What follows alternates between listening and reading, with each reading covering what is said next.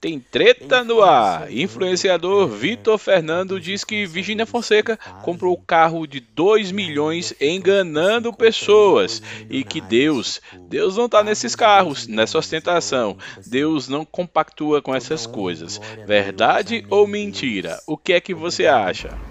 E aí eu fico observando é, alguns influenciadores que fazem e ainda ficam, tipo assim, comprando coisas milionárias, tipo, carros de 2 milhões e colocam, tipo assim, toda honra e glória a Deus, amém, Deus, obrigado, meu Deus. Que Deus? Se tem uma coisa que, que Deus não, não apoia é, é enganar os outros para enriquecer e ainda ostentar. Eu acho assim indignante. Sei lá, eu tenho para mim que nada compra uma consciência tranquila, sabe? Eu jamais conseguiria deitar no meu travesseiro à noite e dormir. E, e logo eu, assim, que tipo. Já, já passei por muita pobreza, sabe? Com a minha família. Hoje, numa posição de privilégio, né? Falando de bens materiais.